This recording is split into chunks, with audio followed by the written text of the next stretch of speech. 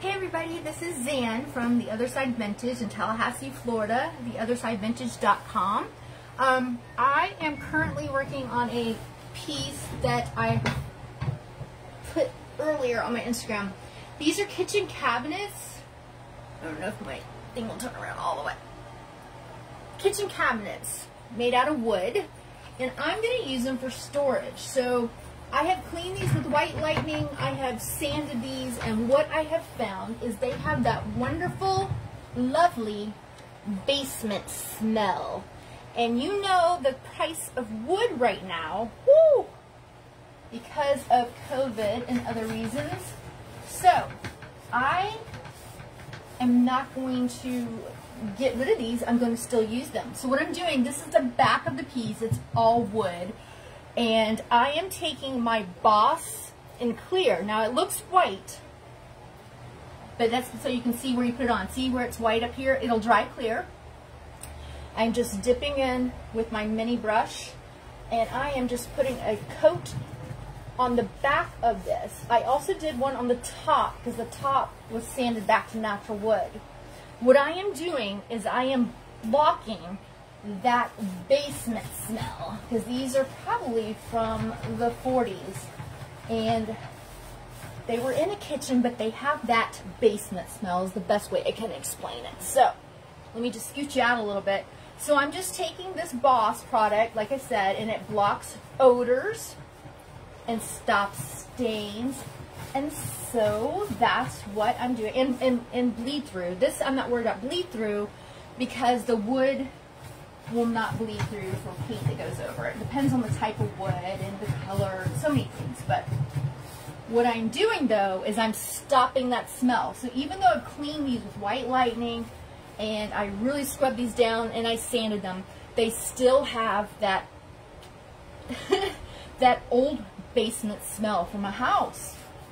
So again, I am salvaging these. I think I'm gonna keep these. Originally I got them to put um, legs on them and windows on the front to make cabinets.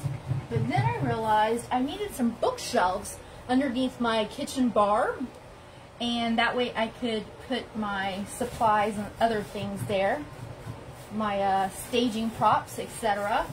And so I decided I think I'm going to keep these for my own house, but that I can't handle that smell. Now the boss doesn't smell low VOCs. And so I'm painting inside while it's raining outside. It is Tallahassee, Florida, and it rains really hard for 30 minutes and then it stops and then it rains again. So that's what I'm doing. I am painting inside. There's no smells except for this piece. And what I'm doing is taking the amount of money I would have spent on building new shelves with the wood, the prices they are, would have been way out of my range. So not only am I reusing something, so I'm keeping sustainable. But it's already pretty much what I need it to be, except for the smell. So I'm going to block that by putting a layer or a coat of Boss. So anytime you have wood that has that old basement smell, just use your Boss. Again, this isn't clear. It'll dry clear, but you see it goes on white. It also comes in white, so you can use it almost like a primer. And it also comes in gray, which is really good for uh, if you're painting something red or certain different colors. You can just choose which one. Or like me, you just grab which one you have and use it. Again, this will dry clear. And this is already, again, this does not smell at all. The product does not smell. It has no smell, so I'm able to paint inside. It's going to stop that old kitchen smell, that old basement smell. So you can see, I'm sorry, I'm on the floor. That is the other cabinet and again, I picked these up and I don't have to pay for new wood to build cabinets. These came out of a 1940s house. And I am going to use them. Any other time, if I didn't have my boss, I would have tossed these because of that old basement smell. But you can see it just takes a little bit of time to paint it on, brush it on. You can also use a roller, you guys. I just tend to hand paint things a lot. So you can also use a sprayer. If you have a sprayer, you can spray this product on very easily. Easy cleanup. It's water-based, so so easy to use. no VOC, so I am just going to be so happy when the smell comes out of these by using the Boss and I can use these and not have to go build because I really thought when I saw plywood that's the size of the back of this cabinet, just the back of the cabinet, just this piece of plywood, would have been like $52. It's like, no, nope, nope, nope, nope. I'm on a budget always. And I like to use things that are already been built, salvage them, use them again. Okay, so that didn't take very long. Uh, I should put my camera. I always do this. I'm on the floor. So let's spin it around. And now you can see this is the front. So those are kitchen cabinets. Again, I was thinking about putting uh, putting little feet on the bottom of them. As a matter of fact, I have, for example, like something like this. And you attach it underneath, and then you have four of these. So it becomes like a, a cabinet. And then you would put the the uh, windows, old windows on it with hinges, or you can do a canvas of artwork and put, put it on hinges. I like to do that too. Um, but now that they don't smell like a basement anymore because I've just sealed in that scent, that old basement scent, I just sealed in by just simply applying the Boss with my paintbrush, water-based. I'm just going to rinse this out in a minute. Um, these are salvageable, so I'm going to use them as bookcases and they'll look awesome. I'm going to take off these, uh, these were where the doors were. The doors did not come with it. So I will take these off. I want them to be white because I want the things that I put on them, like my props. For example, let's see if this works. I have this birdhouse that I got, and I painted it. And then I added some lovely little cute seal things. I might put a transfer side, but you can see going to sit that up in there. And so then what I'll do is when I'm staging a piece of furniture that I am selling, I will have all my staging props in these bookshelves that are going to be stored underneath my bar in my kitchen. So that way it'll be almost like built-ins, but I didn't build them. Look at all that wood. This is all real wood. This would have cost me a lot of money. Like I said, just the back board of that plywood, $52. So I've saved that already. And then I can just put my props and whatever up in there. You can also put your paints. Like here's some coffee bean. Here's some peony.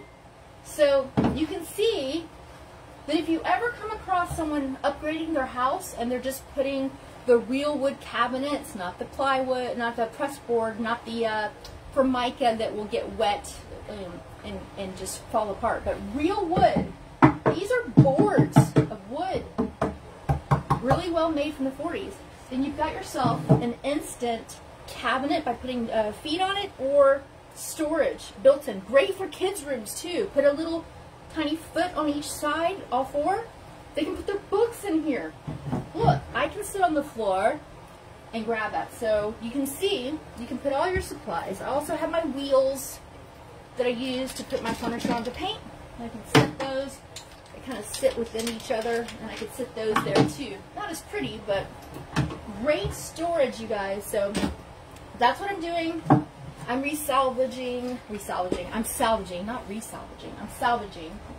And I can already tell that that basement smell that I was smelling, just by putting the boss on and it's already drying up, it really is disappearing already it's lessening so much. So I'm so grateful for that because I could not handle that smell in my house. So here's the other one. It's another kitchen cabinet. There were two. Um, just so same. See, one's a tad bit wider, maybe a couple inches. So here's the back again of that raw wood. So there's the raw wood. So this, the one behind here, here's the raw wood in the back because it would have been against a kitchen cabinet, uh, kitchen wall, and nobody would have seen the back, so they didn't paint it. But that has that old basement 1940s kitchen smell. And again, so if you just popped on, what I'm doing is I am sitting on my floor and I am just taking Boss, dipping in, blocks odors and stops stains and bleed through. So, and I'm just going to paint this right on. Of course, the camera, such a great person. By the way, I can paint stuff. I can't film. I'm not a videographer. Let's see if I can get that little, you can see where there's a little bit of paint left over. That's dry. But I am just salvaging them by putting a coat of Boss right on the back. It's going to dry. Even though it looks white, this is the Boss Clear, so it will dry clear. There's no smell to this product. And what it's going to do is it's going to save me from having that icky basement smell on these wonderful now bookshelves and storage shelves that I'll be using. So that's what I'm going to do. This is available at the other side in Tallahassee, Florida in historic Railroad Square Art District. And the theothersidevintage.com, I'll be glad to ship it out to you. It'll be me packing up the package for you and shipping it to you wherever you may be in the United States. And again, this is water-based, so I'm just going to rinse this out, this brush when I'm done. Easy peasy. Boss does come in white and it does come in gray as well. So you can get it different colors. If I was going to paint this white, I would probably use the white or the gray just to have kind of a jump start on the primer. Again, the smell, the basement old smell of an old basement that these came from in a 1940s house is already lessening just by me putting this on and it drying and it blocks the odor. So I did again, I cleaned these first. The smell was still there, old basement smell. And now I'm gonna stop that. And again, this, just this piece of plywood on the back nowadays is $52 because of COVID. The prices went way up. So between the two of these, that would have been 104. And then the wood, because they're all wood cabinets, that would have cost a lot more. And they're from the 40s, and now they're not going to be discarded to the dump, not going to be wasted. I'm being reusing these, and I'm going to make them little bookshelves for storage. The feet may go on or may not. I haven't decided.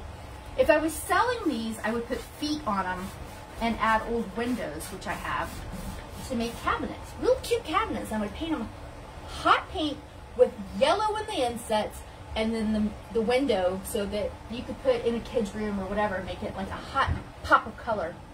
Can you see the difference?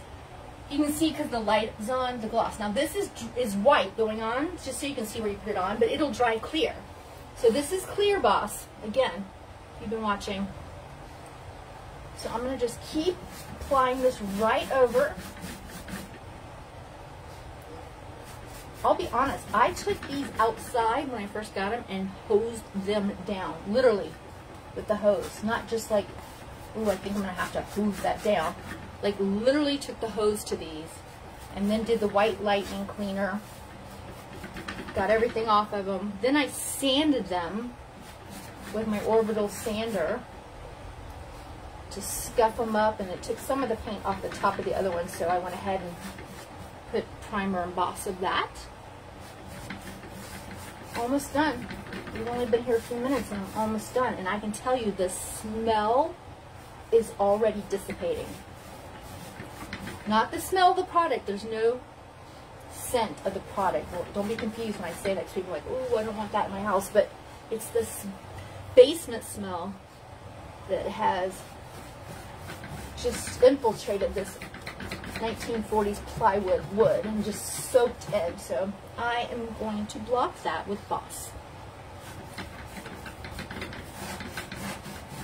So when you're driving around or if you have a habitat store or a thrift store that takes old kitchen cabinets from people who are upgrading their home and it has that weird basement smell, don't let that don't let that stop you. You will save a fortune buying these and salvaging these as opposed to going and buying new wood. And this plywood's really thick, has great knots in it. It's so beautiful, actually. Um, I am painting over, the front's already painted. It's already been painted white, but it's amazing the difference in quality as the years go by, the decades go by. So, again, I'm doing half and half. So you can see parts still wet. This will dry fairly quick less than an hour. The longer you let it sit, the better. So let me just let these rest overnight because I have other projects I'm working on. I cannot wait to use these for such great storage. And again, if I decide not to do that, I will add feet, add some windows, and I will sell these. And then I will paint them something funky, something bright and cheerful instead of just neutral white. Okay. Ta-da! I have done both cabinets in a matter of a short time. Let me switch this around now. That was the back, that's the plywood. This is, see the one behind me? These are 1940s cabinets. Again, what better way? I needed bookshelves. I needed a little bit of storage. Wood, thick wood. Beautiful wood, it's just because these are painted, but not the backs. The wood in the back had that old basement smell, and it really soaked into the wood. To 1940s to 1921, uh, 1921, 2021. Oh, it's been a long day. Happy Saturday, by the way. So I am going to be able to salvage these and use these for great storage. Again, that wood is thick, and now I don't have that old basement smell, and I can salvage these and use these for what I need. I'm super happy to save that kind of money. I'm also super happy not to have to build them myself, which would have been, who are we kidding? That would have been uh, someone else building them, either Jason or my, my nephew Cameron, who actually does build wood and such. So I'm glad that I'm able to salvage these and use these. And that smell is almost already gone. You guys, it's almost dissipated completely. And it's only been, what, 20 minutes or so? All right, so again, Boss is your friend. Just use your mini brush. Make sure you wash it out. Water-based, no smells cabinet was what smelled, not the product. And now we're on to choosing whether I'm going to do silk and endless shore, or if I'm just going to leave them this white color, or salt water, or I can do my my bright pink peony. Oh, it's probably right behind here. There it is. My favorite peony. Or just leave them white so they'll blend in with the wall that I'm putting them against to look like build-ins without having to build them. All right, you guys, if you have any questions, leave the comments below. Send us a message at theothersidevintage at gmail.com. Follow us on Facebook, Instagram, YouTube, and um, theothersidevintage.com. If you want to order, just tell me what you want. You'll see them on there, and I'll ship it right to you. I'll be one that's boxing them up. I've already got tons of bubble wrap to help with that, so I just got more bubble wrap. Again, salvaging that too. Have a great Saturday. Enjoy. And don't forget to visit Railroad Square Art District in Tallahassee, Florida. Come see us.